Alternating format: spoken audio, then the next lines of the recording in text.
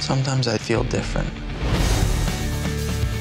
I walk around like everybody else. Hey, Karen. Come on, Nate.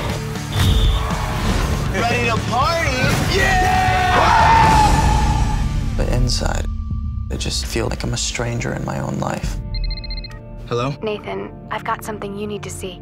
I found this site that shows you what missing kids might look like today.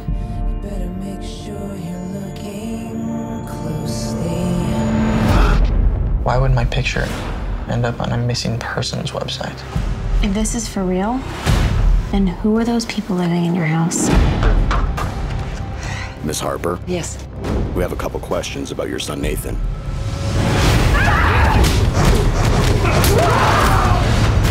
Son, go now! Run!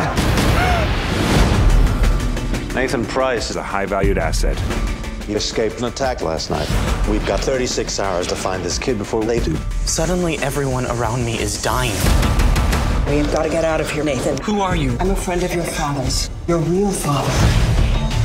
I want the video feeds from every security camera. Track his friends. What's my real name? What's my real name? Track anyone they've ever spoken to. Who are these people? They can't be trusted. Listen to me, Nathan. We're going to find you. Not if I find you first.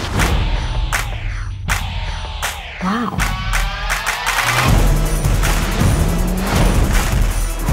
Whoever these people are, whatever they want, I have to stop them. You have something that belongs to me. Now it's time to give it back. What are you planning on doing, Nathan? Trust me.